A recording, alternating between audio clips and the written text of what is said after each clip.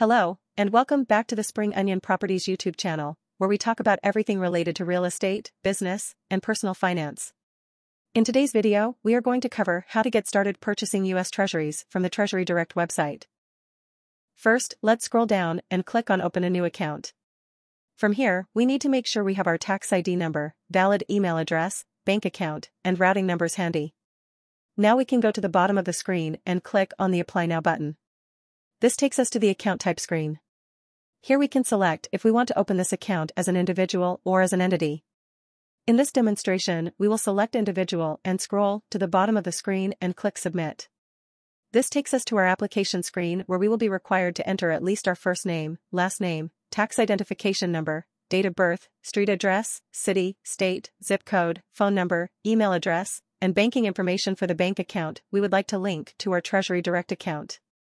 Once all that has been filled in, we will go to the Taxpayer Identification Number Certification section towards the bottom which is highlighted in orange, and there we will click the checkbox. From here, we will scroll down and click the blue Submit button. On this page, we will be prompted to select an image. Then add a caption. Finally, we will click the blue Submit button. On this last page, we will be required to enter our password. Retype our password. Enter our password reminder.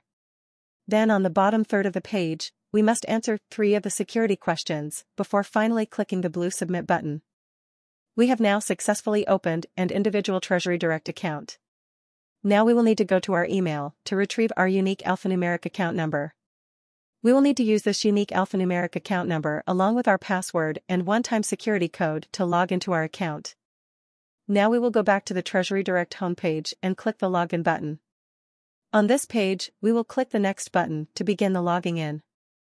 Here is where we will enter our alphanumeric account number that we retrieved from our email. Once we have that account number entered, we will click Submit. We will now need to go to our email to retrieve our one-time passcode. Once we have our passcode, we will enter it here and then click Submit. On this page, we want to verify our image and caption.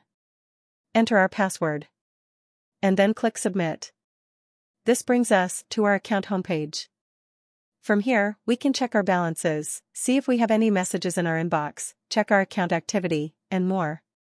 To begin purchasing securities, we will click on the Buy Direct tab at the top next to the My Account tab highlighted in orange at the top left. Here we get to select the type of asset we would like to purchase. In this example, we will select bills under marketable securities, then we will go down and click the blue Submit button.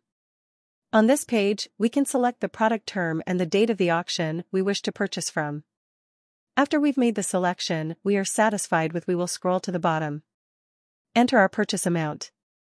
Select our source of funds from the drop arrow.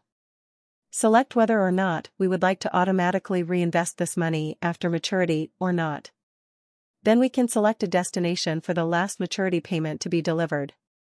Once we are satisfied with our entries, we will click the blue Submit button.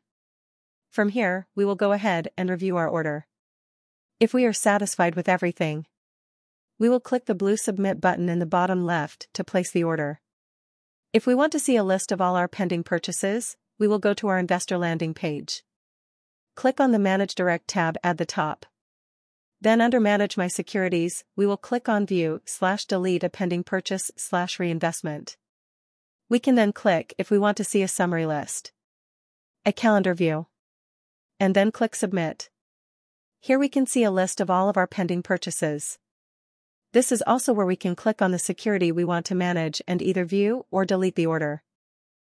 That's it for today's video.